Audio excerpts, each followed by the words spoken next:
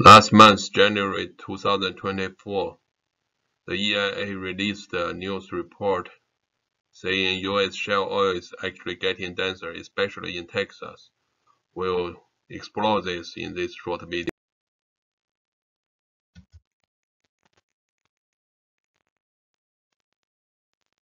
Here is the details of the January 23rd report. Here is the QR code you can scan to the link of EIA website.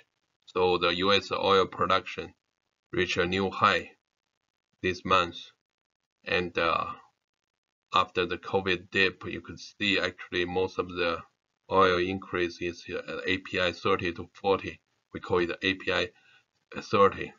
And uh, the second contributing uh, API fluid is API 40 to 50. We call it API 40 fluid. And uh, this is especially true in the Texas, according to EIA report, where the 900,000 per day increase is mainly from API 30, not from API 40 fluid, which is uh, the uh, yellow uh, line. This line has been holding steady in the past three years, while the uh, API 30 increased 900,000 barrels. So we see that the EIA report gives the, plot here that the 30 API 30 grade uh, oil increased 900,000 barrel uh, in the past three years, uh, while the API 40 stay stable. So this should reflect in denser API of the shale oil in Texas. But when we look at the, the average result of the past 40 years, we see in the after 2013, the oil actually getting a lot lighter with API increase from 36 to 39 here. And uh, it's a result of the shale oil revolution in both Eagle Ford and Permian. Light oil um, lighter by a degree of 3 degrees API. And in the past three years, we see that uh, there's still about 0.1 very small increase. So it's actually staying stable or slightly lighter. So now denser, like the news says. So what is going on? So what is going on for the Texas uh, oil density? So if we plot out the normalized the percentage change of the each fluid, and uh, we can see that actually regulated by the PVT behavior. And uh, showing here are the uh, API 30 here and API 40 here, uh, green. Uh, we can see the API 30 is going up, but each year is uh, going uh, up and down as a cycle, annual cycle. This is shows that this material balance is being regulated by the temperature, annual temperature change. But in the last three years, it's been uptrend, while the green one, which is API 40, fluid is uh, also having an annual uh, modulation, but much smaller pace uh, amplitude, and it's also going down. So this explains the balance of this API 30 and 40 is actually transfer of fluid from API 30 to API 40. And but uh, what's uh, else uh, of the fluid? if we plot out the red one, which is the natural gasoline, or actually the Pentane Plus, which is a byproduct uh, in the associated gas processing plant, we can see that uh, this part actually follows nicely with the, the uh, annual modulation in the API 30 fluid as well as going up in the last three years. So this clearly shows what happened in the classical model for conventional oil production for black oil is uh, if you have a black oil like in the Permian, we have a API 41 and uh, if the pressure goes down enough to the bubble point it will separate the, uh, into lighter uh, gas, wetter gas actually in, resulting in an increase of the uh, uh, natural gasoline liquid. And uh, the oil left down in the reservoir and produced later is denser, getting denser and thicker so with lower productivity, the faster decline and uh, so this uh, the, the density 41 initial fluid might drop to 40 or below 40 and the resulting in the shift of the API fluid proportion in the API 30 increase while the API 40 drops. So this explains the behavior. So uh, for the volatile oil and uh, uh, retrograde gas, which have a higher initial API, uh, they, they also getting lighter. So the, the overall average of all the API fluid on average still maintain the same or slightly going down. Uh, going uh, the density is going down, but the API go, go up as we probably uh, previously see in the previous slide. And uh, this is also confirmed. The bubble point uh, reached is also confirmed in the GOR change, uh, as reported by EIA in the Permian Basin.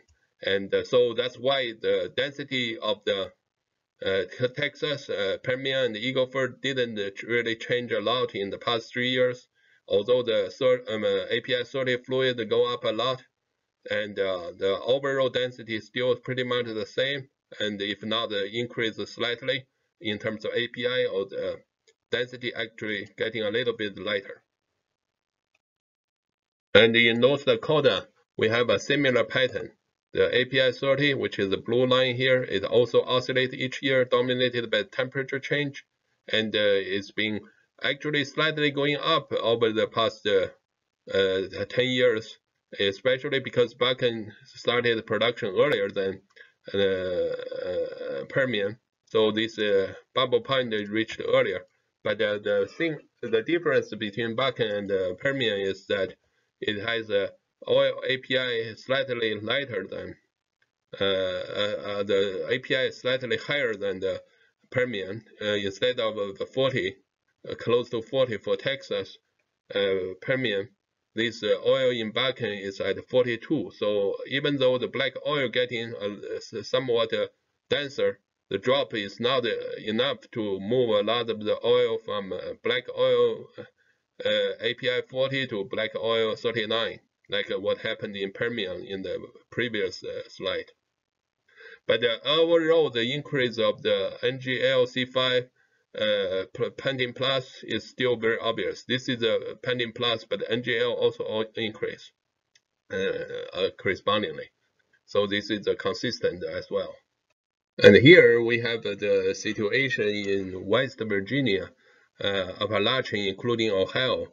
Here the maturity is much higher.